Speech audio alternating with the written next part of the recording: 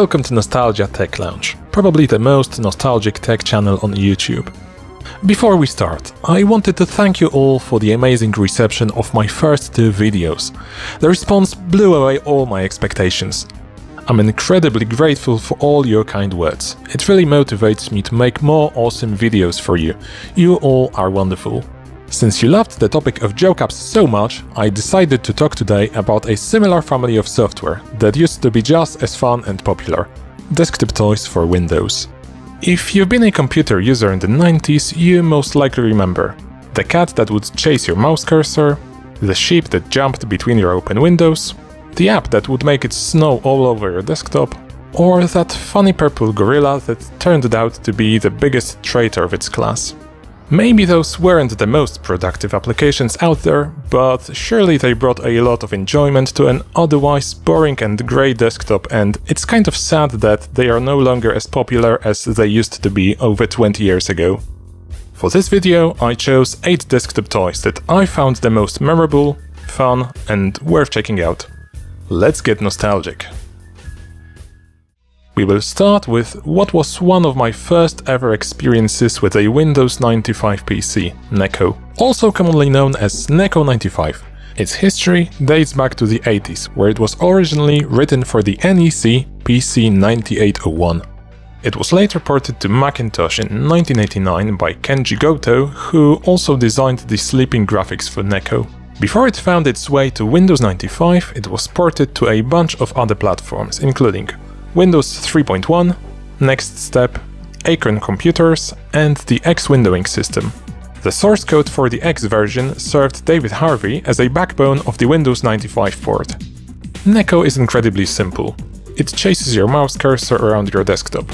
Once Neko finally catches its prey, it starts its grooming ritual and quickly falls asleep right next to your mouse. It will keep on snoozing for as long as your mouse cursor stays still. Once you finally move your mouse away, the fun starts again. My favorite thing about Neko is that it stays hidden behind your open windows, so that it doesn't distract you from your work at hand. During my first ever computer lesson, our teacher showed us how to use the mouse and Neko was her proud assistant. Our task was not to let it catch our mouse, which was a brilliant way to teach us 8-year-old kids how to use this novel device. It's still one of my fondest computer memories to this day. Screenmate Poe, also known as SCM Poo or simply The Sheep, is another famous desktop mate for Windows. It's a cute little sheep with purple horns that runs and hops across your open windows. The application is based on a character from Fuji TV's multimedia project Stray Sheep and features numerous character animations from this TV series.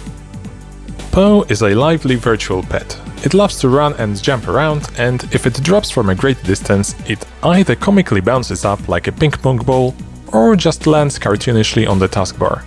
When it gets tired, it takes a short nap. You can drag it around as you wish and place it on top of any window you want. It can climb up your windows or even get abducted by UFO. You can even feed it by dragging files onto Poe. If the file you drag is a WAV file, Poe will play that sound for you.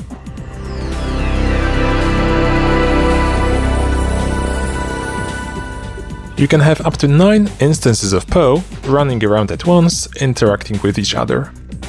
I've managed to find source code for Poe on GitHub, including releases for modern Windows. Link is in the description below. One of my viewers mentioned the Bruce Lee Screenmate, which was a part of a peculiar ad campaign by Brisk Iced Tea, featuring claymation lookalikes of Bruce Lee, Elvis Presley and Frank Sinatra among many other celebrities. Bruce jumps and runs around your desktop, throwing kicks and punches, sometimes doing his signature scream. Every once in a while, he throws a random phrase that is presented as a comic-style bubble above his head. Right-clicking Bruce gives you access to simple commands like punch, kick or get Bruce back on top of his game, which of course involves taking a sip of Brisk. Brisk, baby! Aside from being there purely for advertising, this gives you access to even more commands. You've gotta give it to them. Developing an ad that people not only want to play with, but also remember very fondly is quite an achievement. Using desktop mates for advertising was quite popular in the late 90s. Another such example is the Granny Screen Mate, designed as an ad for the movie Nutty Professor 2. And if you've seen the Nutty Professor movies, you probably have a clue what Granny might be like. Yeah, as you might have guessed, she's pretty nasty. Granny walks around your desktop, farting, dropping her knickers, and playing with her prosthetic teeth. Fortunately, you can disable the sounds. Granny seems to be using the same codebase as Bruce Lee, as her comic book bubbles and right-click options look identical to Bruce. Using the context menu, you can make her drive around in her cart, perform her nasty shenanigans, or even buy tickets for the movie. Hats off to the marketing team for this. It was a very cool and novel, albeit disgusting idea compared to modern times, where they would simply shove tons of nasty video pop-up ads to every nook and cranny of whatever content we consume on our smartphones. Let's leave desktop mates alone for a while. Snow for Windows does exactly what it says on the tin. Brings a snowfall to your desktop, Christmas trees, Santa Claus and reindeers included. Originally developed by Rick Jansen as a virtual greeting card for Macintosh computers in 1984, it was later ported to X11 in 1993 and later found its way to Windows desktops. The falling snow piles up on top of your Windows and taskbar.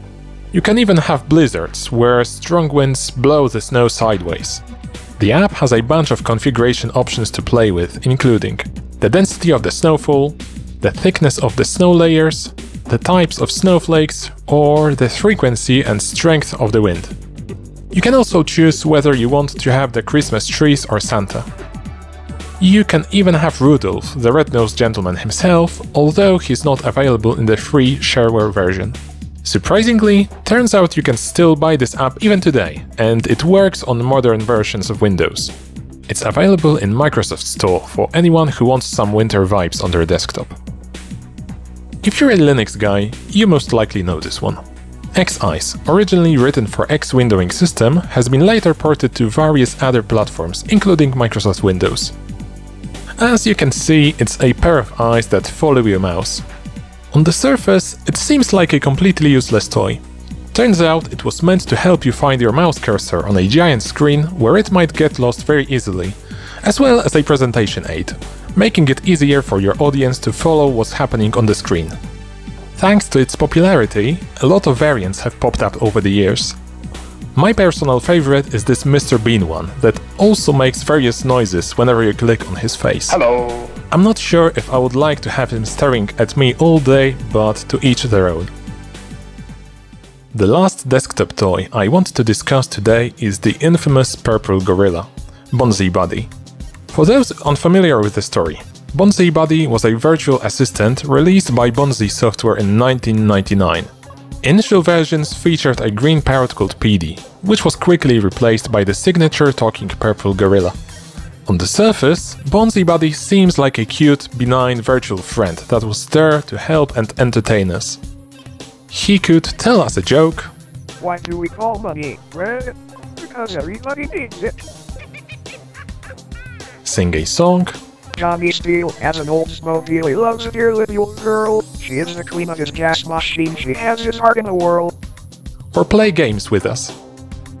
It also features a calendar where you can enter your appointments and the Bonzi will remind you when they are near. He could even read stories using its speech synthesis engine. All of this sounds very innocent and kind-hearted, so why was it so infamous? Little did anybody know at this time that Bonzi Buddy was hiding a sinister secret. It featured a spyware module that would send your private data to Bonzi software servers, which they would use to display pop-up ads on your computer. What's even worse, those weren't just your regular banners. They were disguised as critical system errors, telling you that your computer might be in danger and that you should install more Bonzi software to protect from those threats. Bonzi Buddy would also repeatedly change your browser's homepage to bonzi.com without your consent. Worst of all, it also contained a backdoor that would allow all the malicious software to be installed on your computer. Bonzi Software faced a class action lawsuit for malicious behavior of Bonzi Buddy and would later cease to exist, leaving a very nasty legacy behind. Since Bonzi software servers are no longer in operation, Bonzi Buddy is pretty much harmless today.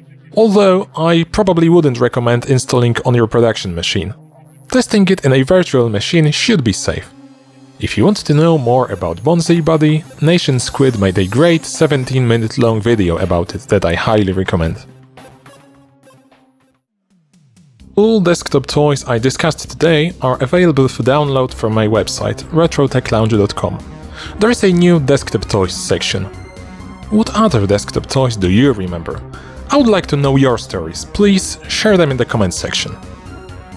Thank you so much for watching. Be sure to leave a like and subscribe and visit my social media. And I will see you in the next video. Cheers!